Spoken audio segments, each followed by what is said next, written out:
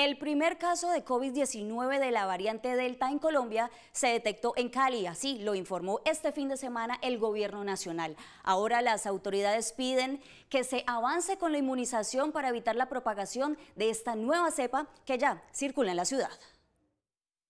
Ante la llegada del primer caso de la variante Delta a Cali, las autoridades de salud hacen un llamado a la ciudadanía para avanzar con el proceso de inmunización y continuar con las medidas de autocuidado, pues es la única forma de contrarrestar los contagios y la propagación de la variante Delta. Lo más importante, como les digo, es incrementar la vacunación rápidamente y mantener nuestras medidas de protección personal, tener el cuidado del tapabocas y tener la distancia social con todas las demás personas, evitar las aglomeraciones, los lugares cerrados, el contacto personal con personas que no conocemos, el contacto estrecho con personas que no conocemos.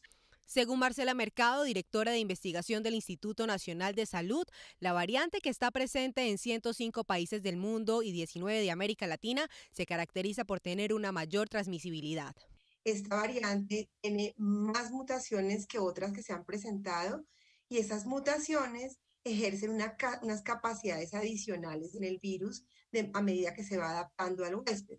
En este caso en particular, las características tienden a ser que es mucho más infectante, su poder de contagio es mayor, entonces, y con menos cantidad de, inóculo viral, de cantidad de virus, infectan más personas.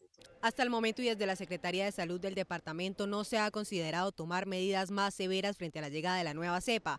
Esto teniendo en cuenta que el panorama de casos, muertes y ocupación de unidades de cuidados intensivos ha mejorado. En este instante nosotros estamos de bajada de un tercer largo y prolongado pico. Nosotros no estamos observando nada diferente a la reducción en casos, a la reducción en la gravedad de la enfermedad. Está disminuyendo lentamente el número de fallecidos. Así que en este momento lo que tenemos es que seguir alerta y seguir recomendando la vacunación. Recordemos que el gobierno nacional dio a conocer la detección del caso el pasado 24 de julio. Hasta el momento la paciente se encuentra en un buen estado de salud y las autoridades competentes están realizando el cerco epidemiológico competente para frenar la red de contagios.